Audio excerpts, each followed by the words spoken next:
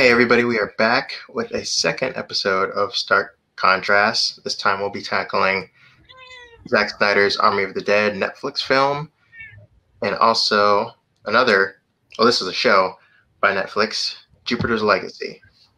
And um, Jupiter's Legacy was, is what we're going to start off with. So, uh, Nick, take it away. What were your uh, thoughts? Uh, well, actually, this is interesting because these are both a movie and a show. The show in particular that I feel like I wouldn't have watched if not for this podcast. And uh, I was, I had only seen a little bit of the marketing. Uh, I wasn't particularly interested in it. And like I know I'm I'm very much a superhero guy, much like yourself. But something about the way that this show was being pitched to people, it seemed like kind of something that I wouldn't get much out of, like just premise wise. I wasn't sure what the hook was meant to be. And I don't know, sitting down with it, I think once you watch the first episode, it's a little bit more clear what exactly separates it from other shows and other superhero media. And I think the basis for something really, really interesting and engaging is here with this show. But as, like, in terms of the execution, again, actually sitting down with it, I don't think it quite lived up to its premise. It's unfortunately not something that I'm engaged with or impressed with enough to want to bother with the second season. Probably not going to watch that when it drops, unless, again, we decide to talk about it and uh, yeah, I don't know. I had that feeling from the beginning, which is why the first couple episodes I was kind of surprised because the first thing you'd mentioned to me, like making your way through it, was that you were mostly digging it up through like episode four or so. Um, yeah, uh, I was digging the uh, what they were saying about the um the code and everything, thinking that was going to eventually you know, lead somewhere interesting. Um, and I was more or less tolerating the uh, previous like flashback stuff. Yeah, and like that that's definitely this is one of those shows that and this seems to just be I don't know if it if this started with Lost, I feel like where modern like quote unquote prestige shows or like shows that are aiming for a certain demographic feel compelled to always have this intercutting between present day and flashback sort of structure. I think for a lot of shows, including this one, it's really arbitrary, but uh, that we can talk about a bit more later because it also occurs to me that, like, it, it's really interesting, and this is not a thought that had occurred to me before now, but talking about this show after talking about Invincible, because on paper, they're they're they're kind of similar in the sense that they're geared more for adults and the core premise is like this this sort of uh, long established superman figure trying to mold his son in that in that sort of sense and the world that they're set in takes it's very much a pastiche of like dc heroes more so with Invincible, I think. But it's I don't know, it's just interesting that these two things drop around the same time and like one gets a bunch of attention and praise and the other one not so much. But um yeah, and I think saying that also makes me think that this show has a lot of issues and I think this is going to be a mostly very critical discussion. They're very heavy on talking about the flaws, but one of the flaws that I think is kind of baked into, again, the core idea of it is that for as much as from episode one and like when we're establishing our like themes and our ideas and our conflicts, it seems very much like the number one point A with a bullet central focus of this show is gonna be the utopian and his son and his son not being able to live up to that ideal. And it feels like that angle is kind of lost for some of the show. Do you, do you not feel that way? Like that seems like it's going to be our focus and then it isn't? Yes and no. Um, it's not the problem is they don't they just don't delve into it enough. Um, and that's my biggest problem with um the, one of the show's more interesting concepts, which is because like we we've seen it done a hundred times, right? Like Batman won't kill, Superman won't kill, Spider Man typically doesn't kill. Um, and like, but we never really. I mean, at least with Batman, we kind of deconstruct like his philosophy on why he simply won't cross that line. Uh, but here, it's we don't we just don't delve into the issue enough because everyone that has reservations or a contrary opinion to him, they cave to him just because he's in charge, and we don't see a real push and pull on the issue. Yeah, which I mean, I think the way that the code itself is handled is definitely the most interesting thing about the show. Because for as much as, like you say, we have stuff where uh, Batman has his no kill rule, and like we do have stories where will this character kill or not is the conflict, like the internal conflict. It's really interesting to have this show where there's a whole superhero community and whether or not they should be killing people becomes like a hot button public issue. There's not a lot of stories like that. Like one of the few that comes to my mind, like outside of comics media, is Superman versus the Elite. And that's probably one of my favorite Superman things.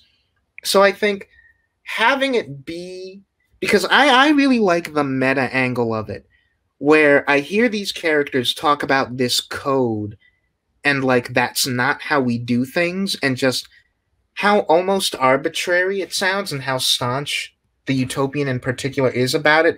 And it's almost like i'm listening to fictional characters speak to like the comics code. Like i'm almost listening to these characters talk about the industry and the fact that they are in these kind of stories. And like uh the utopian shell in particular operates by like basically what superhero storytellers limit themselves with. Like his argument is we're not just like we don't kill, but like we don't get involved in politics. Our duty is to inspire people. Don't do tangible, direct action that really creates a long term societal improvement because to do to do the, the the exercising of their power that way is tantamount to dictatorship and if they tried that, then no one could stop them. And that's why Superman and a lot of other superheroes have to come from this philosophical stance that they're protecting the status quo. The world isn't broken. They're just they're there to keep the machinery like running smooth. Where Walt is the perspective that says the status quo is broken and it's their responsibility as the ones with power to make the machinery function better. Like I think that's a really really cool debate to be the main conflict of your show. And I think you're right, Malik, in the sense that it feels in episode like by episode one, it feels like we've said a lot of what we have to say already, and the argument just kind of is stagnant for most of the show because Sheldon is just so uncompromising that things aren't actually allowed to progress much. And I mean, not even just that. Like, you say you have the characters accept the fact that okay, it's not like we, we're going to just go up against him, like try to fight him over this issue or anything, but we're still going to handle things how we want to handle them. And if he tries to inflict, you know, punishment or whatever, try to sideline us, we kind of try to, you know, sideswipe it and keep going. Like, we, there's not a real. The issue is those characters just they take it. Like, okay, you're you're in charge. We don't. We're we're gonna begrudgingly go along with the status quo, the code as is, just because you want to keep it that way and and you're in charge. But you know, I mean, people, well, teenagers in particular, rebel against their parents all the time, and I mean, like with Chloe. So Chloe is also, at least for me, simultaneously the best and worst thing about the show because mm-hmm. she's not willing to conform to her dad's rules or his philosophy, doesn't buy into any of it, doesn't even want to be a superhero. Um, but the issue is because of that, she's very one note and stagnant and doesn't change or grow at all over the course of the season. She's just, I hate my parents for not being there and being superheroes instead of being parents. and treating us as you know just the the person that's supposed to take over their legacy as opposed to you know just being a father for a daughter that kind of that kind of a thing.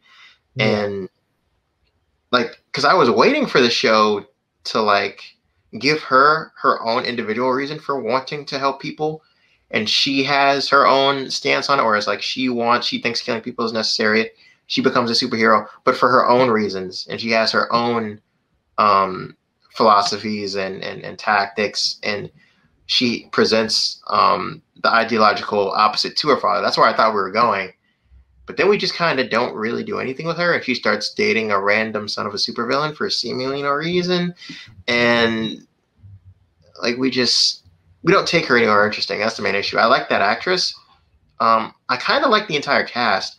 I just think that they're not given the best to work with. Yeah, honestly, the chemistry between the cast like saves a lot of scenes where the dialogue itself is kind of ropey, and um, I actually I think it's interesting because what you're describing is what I would hope to happen eventually, and obviously this is the first part of a larger story.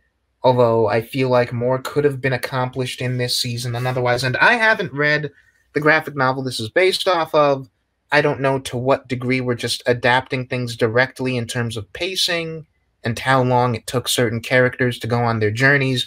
But I think you're right in that Chloe and her brother are both in the position to be like the actual ideal side of the coin because Chloe herself isn't necessarily the opposite to her dad. The opposite to her dad, just in terms of like the actual philosophy, is his brother Walt. And this is a spoiler discussion, obviously, so get get out now if you don't want any spoilers for this show.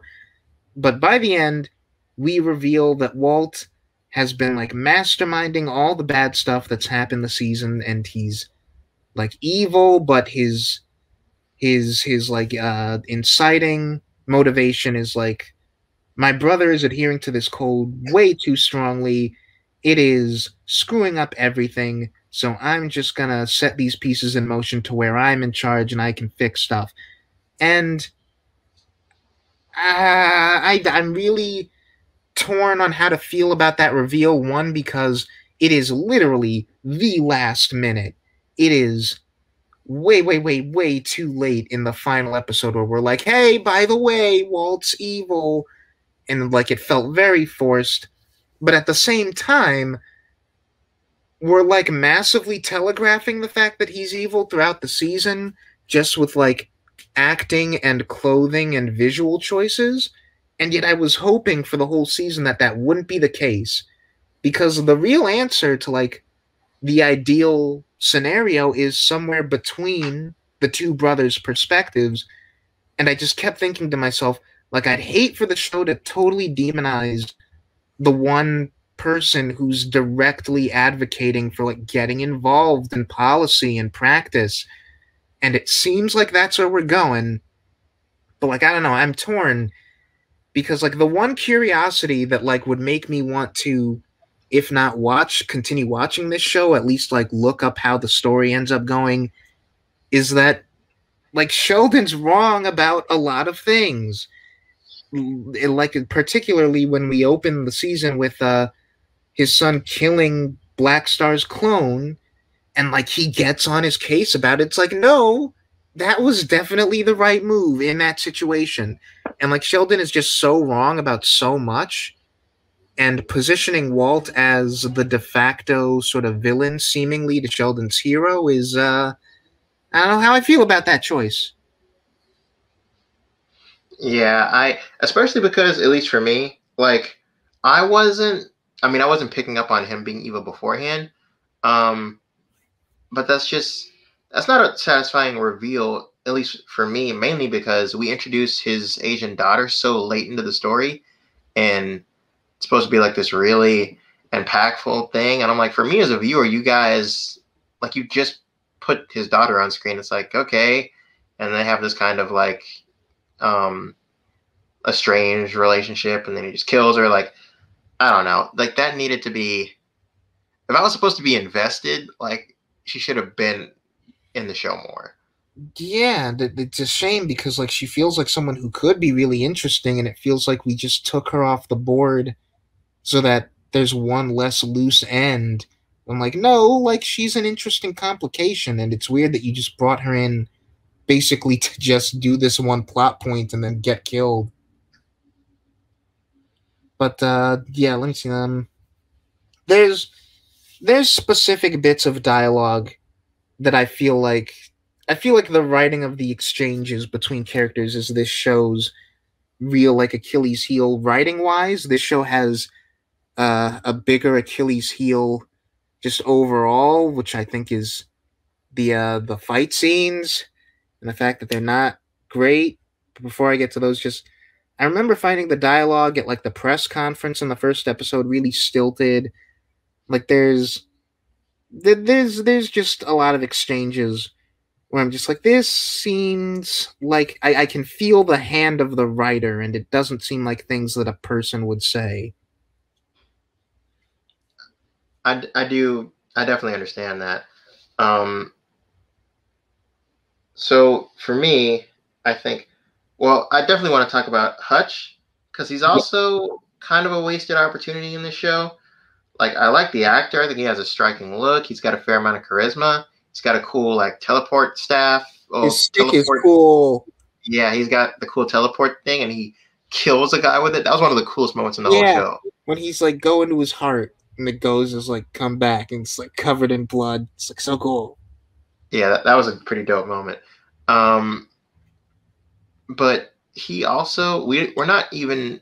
I mean, like we know he was dealing with um these like crime or at least a crime boss and you know he's trying to also find his father but you know we don't really know i mean we know he's a villain and we know he has had a history with chloe's family uh, but we don't really know the specifics yet so it's just you kind of you know leave the audience dangling with a kind of empty plot thread there yeah and like we we know the we know what the scenario is but we don't actually know what the relationship is so like we know that uh why am I blanking on his name? Hang on. Uh the his friend, the one who turned on them for some reason. The, uh, the blonde one in the flashbacks. I'm not remembering her name. Was it Jane? The guy. Oh, the guy. Um, yeah, I'm, I'm not remembering his name either. Dang, I thought I had it written down somewhere. I'll find it in a second but he's his son. And it's this really weird thing. Like, I feel like there are scenes missing between him and Chloe in multiple cases because their first interaction is like he she gets hit with his van and like he rolls out and she's like i know you and it's like george the, the guy i'm thinking of his name is george like george the hutch is george's son so like yeah it makes sense that they would have had some interaction because for a while at least, their dads were best friends and then sworn enemies. So it's like, okay, but she's like, I know, I recognize you, and then we never follow up on that. Like, there's never any actual discussion of, like, okay, we know why they would know each other, but how does she actually recognize him? And, like, what, if anything, was their relationship prior to this? And then, like, they they just start hooking up off screen, I guess. Like, am I going crazy, or did I? Was there no scene where they actually start their relationship? Yeah, I'm pretty sure we just cut to them making out, and they're just a thing now. And like, if it was just a fling, then that would make some sense because it's like whatever. They're two attractive young people. They run into each other. Something happens. Whatever. But they're like in a relationship and like they seem committed and like they're talking about like the implications for their families and stuff. And I'm like, Ooh. well, I don't, I don't really know about all that, Nick, because, um, like he says to her as they're putting their clothes back on, I don't think your father is even aware of what whatever this is. So that's clearly clearly not in a committed relationship. Well, they're just I messing suppose, around. I suppose on a fairly consistent basis, but that's that's not how I took that. The way that I took that is, of course, her dad wouldn't even know if she was in a committed relationship because they barely have a relationship themselves. But he doesn't say us. He says whatever this is. Right, but like the implication I get from that is that they want it to be something that's not just like screwing around. Because otherwise, why are they even having this conversation? Fair enough. Yeah, but I, I'm just like either way, that's that's why did we not get a scene where this thing starts? It's so strange. And it's Netflix. You can kind of make the episodes however long you want to, bordering on a little past an hour. It's it's really weird, man. I don't get it. But um okay, so yeah, before before we transition into what I think you have a lot to say about, which is the the sort of dissonance with the flashback stuff. I, I briefly mentioned the action. I feel like the action in this show is really bad. Like particularly when we have to do the effects heavy, like flying around and laser beams and stuff. I had the thought in the first episode in the big fight with Black Star where I was like, I can't believe I'm saying this, but this fight scene feels like something even the CW would be embarrassed to have. And that was a real it's really disappointing to to to have like one of these like decently budgeted heightened superhero things on Netflix. It's like okay, they can kind of do whatever they want and when we get to the actual fisticuffs, it's just not fun at all. Um I wouldn't judge it that harshly. There's a cool bit with uh, the girl who has uh, the super punches that I really liked. Um, but I mean, yeah, outside of that, I would have said it's it looks like the early CW crossovers. Yeah. Um, and like the bit where uh, Walt and George are Walt and quote unquote George because it's all just a trick by Walt are like fighting in the brainscape and flying around and stuff. I thought that looked really bad. I mean, yeah, that was all clearly green screen. Um, yeah, that, there's nothing to write home about there. I mean, and again, if this was, if the story was stronger, like I could kind of, you know, I could kind of let that stuff go under the rug, but um, they just, the story wasn't super strong. Like conceptually, there's a lot of really interesting stuff there. They just didn't capitalize on it. Yeah. But the, um, yeah, the, the the other half of this show is. So I mean, I don't even have a lot to say about the flashbacks, with the exception of they seem really solid at first. And I remember uh, Steven Steven S. DeKnight talking about how um, he was really like someone brought up to him the prospect of telling the origin story over the course of a season versus you know the very minute origin that they had in the comics and I'm like watching all of this, like there was not a real story here. Like, I mean, with Oliver and the Island, like I can see how you can make that an overarching thing. They took that way too far in Arrow, but that made sense. Whereas here, it does not. Like they did not just, at least for me, they did not justify having all those flashbacks throughout the entirety of the first season. Yeah, the, the thing about it is, and this is going to sound weird, but again, ignoring the execution of it because I still think that those scenes are plagued with like the stilted dialogue and the pacing that's a little wonky and uh, just stuff that could have used another pass. It feels like a completely different show. And of the two, the show that is the flashbacks is honestly the one that I would rather be watching like I took to them much better than you did, and I think part of that is I prefer that cast. It's just the adult characters, uh, minus the old age makeup, and they're not sort of like saddled with the younger characters who are interesting on paper, but like I don't really like them. And like um, Brandon is the son's name, right? I don't like his yeah, performance a whole bunch. I don't love his performance, but um, yeah, like you're right that that Chloe and T and stuff there, and Hutch, like there's there's interesting things to them, but if I'm being honest, I would rather watch this like 20 set, like cutting between family drama going into like this island adventure where it's this team of explorers basically going on what might be a wild goose chase. And it's like, I'd watch a movie of that setup just executed better. Like I, I was, yeah, I I mean, it's no national treasure, and Yeah. that's that's the big issue with it for me is like we we just and we waste so much time on those ridiculous hallucinations of his father. Yeah, like it, I would definitely the first first thing I would do to improve those flashbacks, tone that stuff down. It's too or completely remove it because do you really even need that to get them where they need to go? Like he's like, my father's trying to lead me somewhere, but it's like, no, he's tormenting you and Yeah. not really advancing the story at all. Like, And I'm not sure in the story, like within the story, why is he being so antagonistic? Like it's it's not he's not actually going crazy. It is the thing trying to lead him there. But then why is it like, oh no, I I know because it's supposed to be like a test. So like his ghost dad is trying to like poison him against the rest of the group and he's supposed to resist it. And it's like yeah you passed. You didn't give in to, to, temptation. But that's that's that's pretty flimsy and you didn't need it.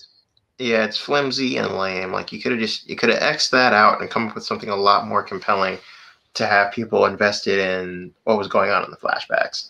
yeah Um, like my favorite episode is when they're on the island and that has stopped and like his ghost dad has stopped bothering him and it's just like everyone on this expedition and he and his brother and george and everybody and they're all just having these like discussions and it's not being impeded by like oh no maybe sheldon's a crazy person and like that that setup and payoff where they're all talking about who they think they would see if it was them getting the visions and that whole discussion and then once they all uh, touch the monument they all see that person and it's like yeah you've proven yourself worthy. And i'm like that was actually like the one beat in this whole show that really got me emotional. Like i liked that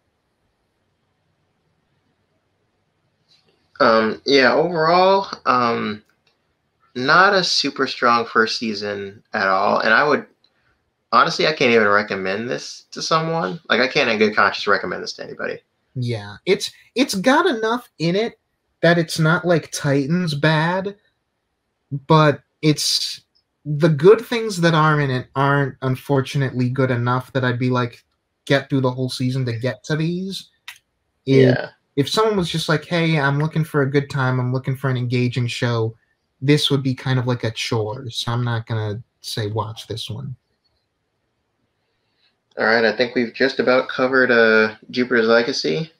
Let's hop on over to Zack Snyder's Army of the Dead. Yes. I was I was gonna make sure in case you just said Army of the Dead, we've gotta clarify that it's Zack Snyder's Army of the Dead because the Snyder is all over this one. This couldn't be more Snyder if it tried. For better or for worse.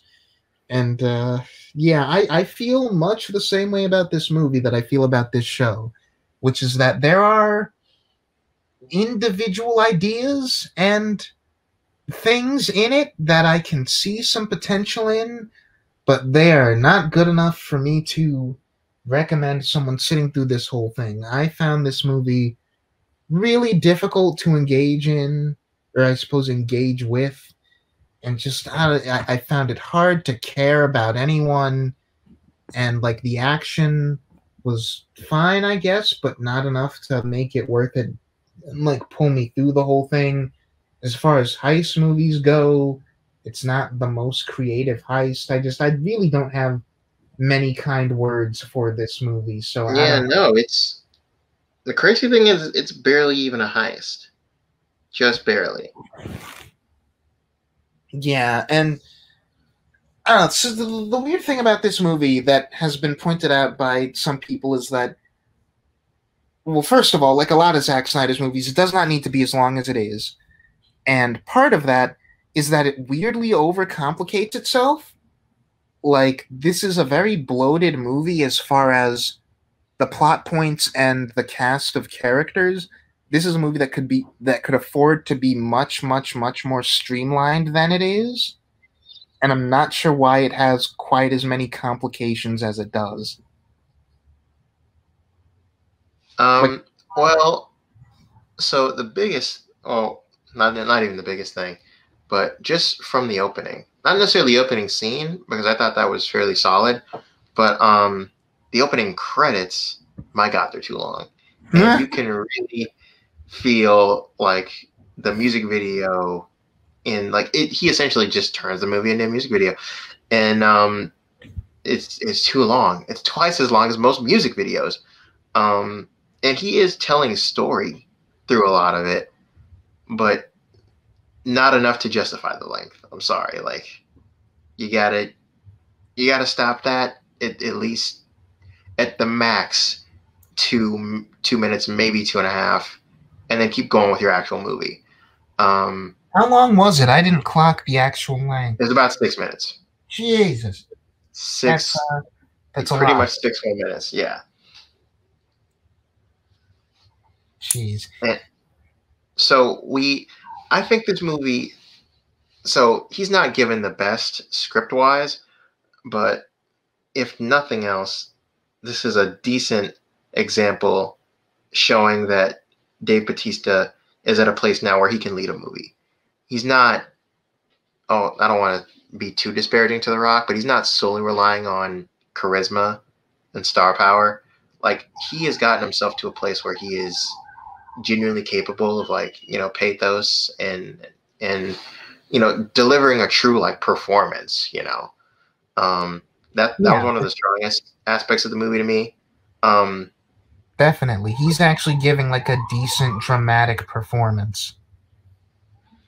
yeah he's not generic action hero um another odd thing about this movie it did feel like a weird amount of setup and non-payoff like the uh the black guy who gets the the big giant uh buzz saw out of the barrel at the beginning of the movie never actually uses it Yeah, The fact that there are robot zombies just completely unexplained.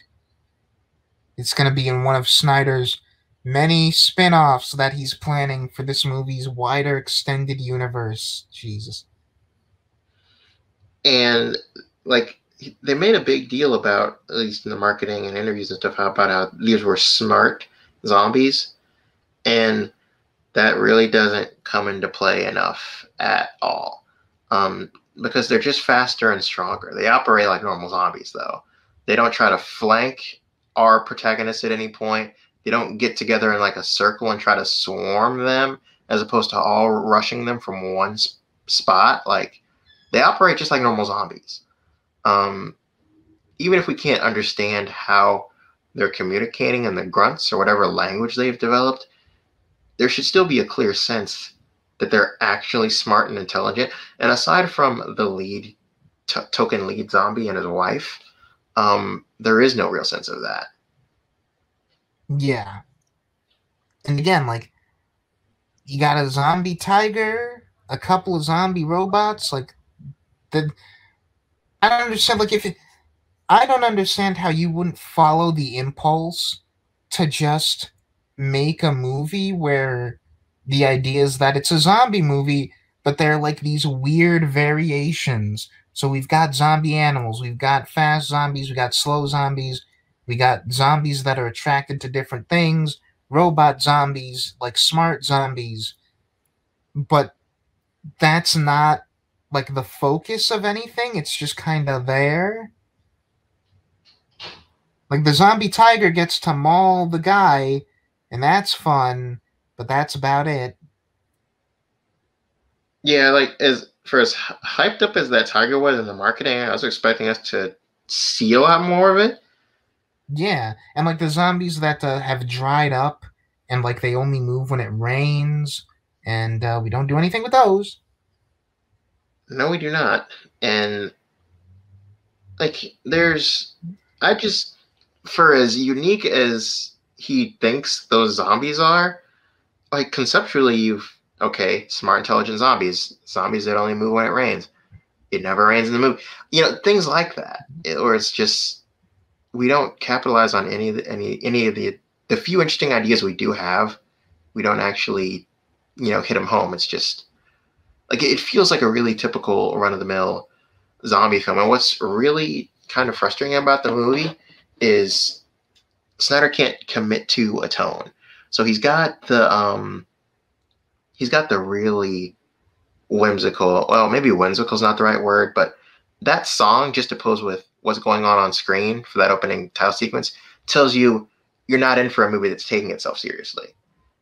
And then, you know, we try to have this pathos with him and the daughter and you know, he hasn't been around because, you know, he had to kill the mom and she kind of resents him for that, even though she says she doesn't. And, um, and also the fact that he just, he didn't know how to handle being a parent without her and that whole situation. So he just wasn't around as much. And we just, it's, it's so like sympathy, try hard, but we don't, I don't know, like I, that. I really do wonder when I'm watching a Zack Snyder movie, how much of it is him not understanding tone and how much of it is trying to convey the tone of a story that's broken in the writing. Because, like, I'm fine on paper with a movie that juggles different tones and, like, has that kind of opening before pivoting to more pathos and stuff like that. Kind of like I'm fine on paper with a movie like BVS where everything is so like dead serious except for these token moments or this one character in the case of like Alex Luthor who's goofy and silly. But something about it is like it's not the idea of juggling these tones that's inherently a problem. It's it's the context of it where it's like okay we're setting up for kind of a like not necessarily a movie that doesn't take itself seriously, but like a movie that has a sense of humor. And there are bits of this movie that does have a sense of humor, but it's not quite enough to where I'd call it a funny movie. It's it's not really. Like it's, it's got, not. Like the only funny the only funny character is um the the pilot, the helicopter pilot like her and uh, the safecracker because it's supposed to be like oh he's kind of a weenie of the group. So we get a couple of laughs out of the fact that he's not prepared for all this. And uh, Vanderohe the guy who survives at the end with the bite he's got the occasional line that's like uh huh that's uh interesting. Like his whole spiel about like being in a time loop. But yeah it's it's a little I don't know. I, I wonder if the issue is like like you're saying, it's just that it can't commit, or if it's just that I, I don't know if if Snyder's not committing, or if his sense of humor is just like so couched in all of this self seriousness, and those two things are supposed to blend together, but they don't. Yeah, like the the opening scene in a lot of the father daughter stuff doesn't even feel like it belongs in the same movie. Yeah. And like I'm supposed to be invested in the father daughter stuff. And again, Batista's really trying to sell it and he's selling it as best he can.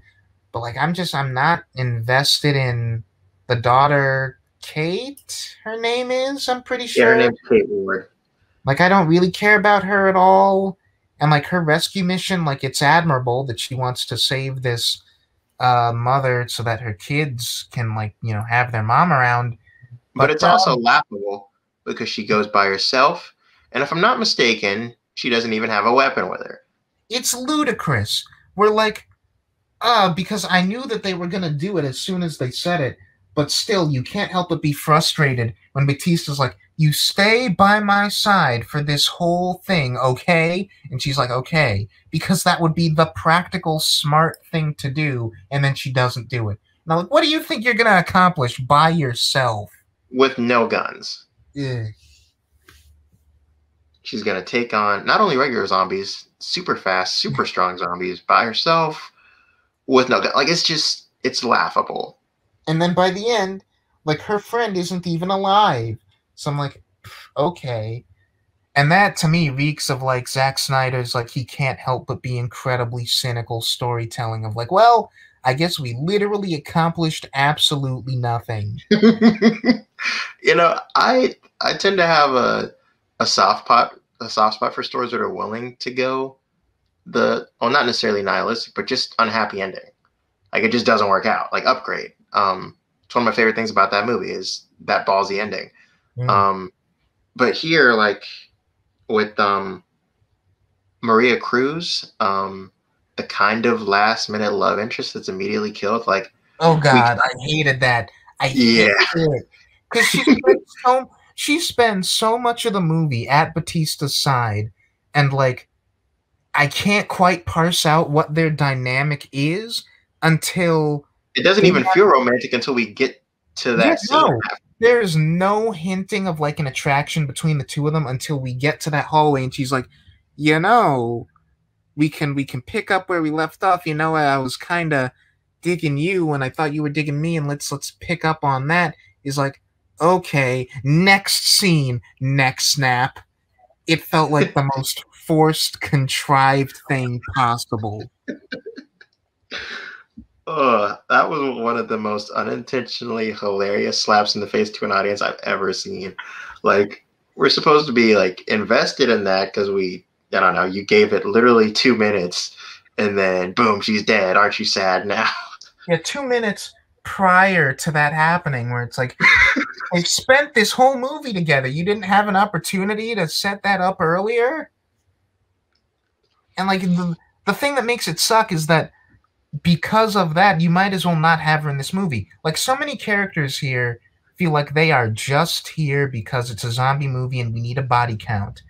And it's like I'm okay with a couple characters serving that function, but here it's most of them. Like, of the characters who actually are like relevant in the sense that if you took them out, the movie would be significantly changed. And like, there would be like emotional beats that feel like they matter that are missing. There's Batista, his daughter, uh, the blonde Russian one um, like I guess the safe cracker and Vanderohe, and the pilot because you need a pilot. But outside of that, like I don't think you really needed anyone. And like Martin, the guy who's working for the guy, because he's like, oh, we re- what we really wanted the whole time was the zombie head. The money was not even an object. It would have been so much easier to just get them all to get hell multiple zombie heads. Like, why does he have to lie? I guess and because it has to be the queen. But like, okay, send tell them what they're there to get, and then pay them for the queen's head. As opposed to like having them all go after something completely different, and only have your one guy going after this queen when she could be surrounded by an entire horde. Yeah, it's it's such a weird thing. Like this feels. I don't want to be mean because we don't know what happens behind the scenes of these movies and what story decisions are the result of whatever.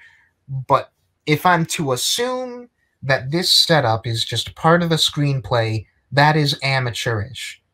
Where it's like, oh, wouldn't it be cool if we had like this twist where the thing that they were here to get wasn't actually what they were told to get? And wouldn't it be cool if we do like a heist thing where we have a safe cracker even though there's no reason that they should need a safe cracker because it's this guy's safe. Like all of this just feels like somebody writing their first time screenplay, first draft. And it's like I thought this I thought this would be cool, so I put it in the movie. Okay, well how is that justified narratively? It isn't, but it's cool. No, that's that is Zack Snyder's MO. Mm. Um uh, oh yeah, we also have uh, Burt Cummings, who um, is the first and really only guy that they serve up to the zombies because conveniently, right, right, right. played by uh, played Theo by yeah, yeah, Theo Rossi. He he was actually the guy I was going to talk about. Like he doesn't really need to be here either. Well, he's the the evil guy that we just throw at the zombies because we just we needed an evil guy to get turned and show back up at the end. I mean, I don't know if we needed that. Well, we don't sure need that, but they think they needed that, so he's in this yeah, movie. I'm not sure what that accomplishes because it's this weird thing that Snyder does where his movies are very nihilistic and they've got this kind of negative energy to them, but it feels like they're overcompensating where they take like the worst human being you could possibly imagine and like kill them horribly where it's like okay we've, we've set up this guy who's like a creep and a racist and loves to abuse his power.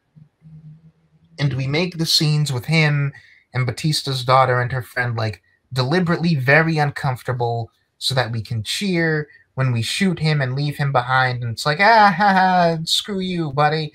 But uh it's it could have been like the one scene like all right she shoots him in the kneecap and he grovels and they leave him for the thing and he gets took. Okay fine.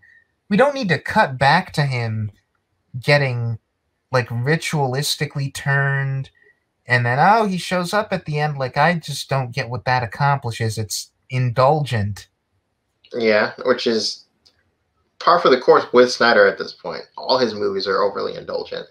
Um, I remember before this movie came out, seeing the trailer, thinking, okay, I might really like this. Might actually be a genuinely good movie because the premise is awesome. Um, and I, I did like when I talk about Zack Snyder, I, I always say the only two films that I like from him are Dawn of the Dead and Watchmen. Um, with Sucker Punch kind of being a guilty pleasure for a while, even though I it makes me squirm to even admit that. But like um, parts of justice league yeah, parts of Justice League. Um, I I like you, I will not ever commit to watching that full movie in one sitting ever again. yeah. Um, but uh, i do that movie before i did this one again when I was done with this, I was like, why do I even like Dawn of the Dead? Like it made me want to like uh, do a begrudging rewatch. Yeah, because that I've only seen Dawn of the Dead the once, and I did not care for it when I saw it. Um, well, and I was I was a big horror junkie in general, especially when I was younger. Um, but yeah, that I do kind of want to rewatch it now.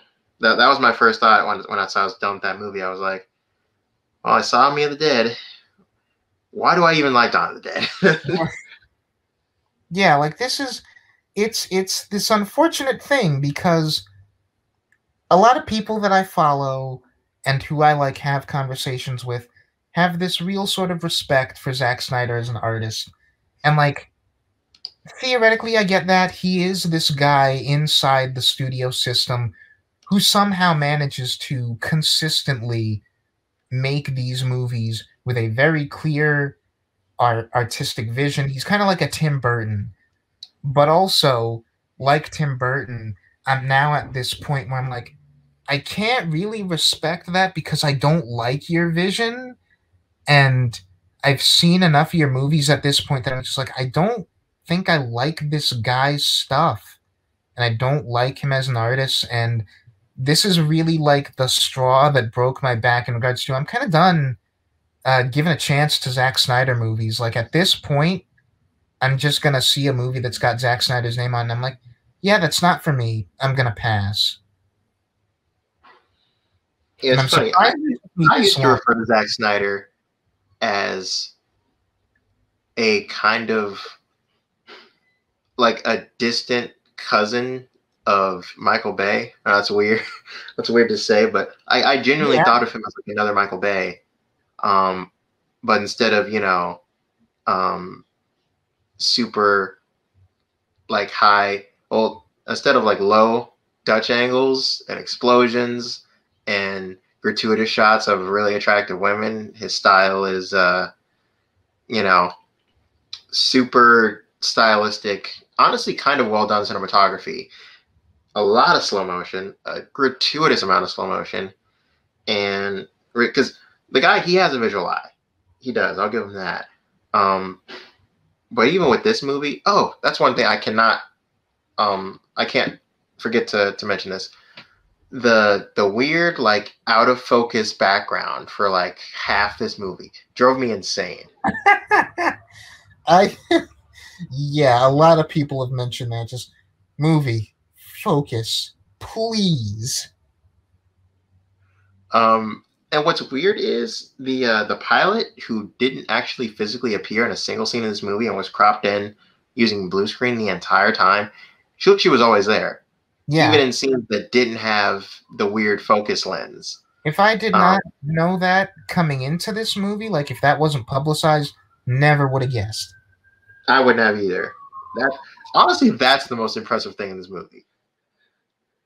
Yeah, which makes me wonder, like, how how how how long until we see that like somewhat normalized, like a couple of movies make that a Yeah. common practice. Es- especially um, given what happened to the industry with COVID, and you know them having to adapt and make specific procedures for, for filming during COVID. I imagine that'd be a very useful tool. Yeah. But uh, yeah, I was pretty disappointed by this movie because I was genuinely expecting I would like it, even though I don't tend to like Zack Snyder movies. Um, Yeah. but uh, it's it's it's kind of because the thing is that Zack Snyder is a guy who has a lot of consistent flaws, but not every one of his movies has every flaw. This is the one that I feel like best exemplifies just everything that I don't care for. It's too long. It's overindulgent on things that don't really feel like they're adding to story. It's none of its characters have arcs, and the ones that like are pretending to have arcs are like super forced and don't actually mean anything. And it's it's like just really gratuitous feeling. And it's got this very almost oppressively like nihilistic like oh well i guess everything sucks and everything's meaningless like vibe to it. It's kind of the ultimate Zack Snyder movie. And so, like, if you're someone who digs Zack Snyder, then I can understand why you would love this movie. If you are not, I cannot imagine a reason why you would want to watch this personally. Um, I will mention the only scene in the movie that I thought was genuinely thrilling and had a lot of tension to it was uh, the chamber scene when um, when Martin deliberately puts her on a course away from the others and they're walking Mhm. through the sleeping zombies Uh-huh. and like eventually they wake up and she has to try to fight them all off by herself like that was a really cool and intense scene Yeah. But um, yeah, I think we've we've laid our thoughts out pretty well here. Not sure what we'll end up tackling next. Probably Black Widow. Probably Uh, Black Widow. Like, oh no, that's that's two months from now. There might be something in between. uh, talk about Loki. Oh yes, definitely Loki. That'll that'll be on the next our next uh, stark contrast discussion for sure. Um, but yeah, we'll see what else uh, transpires. Have you st- have you still not seen the last season of Castlevania? Uh, yes, I have not. Okay. Um, well, we'll uh, I don't know. We'll talk about what other discussion we uh, we do next, along with along with Loki. But hope you enjoyed uh, our discussion, guys, and uh, we will catch you on the next one.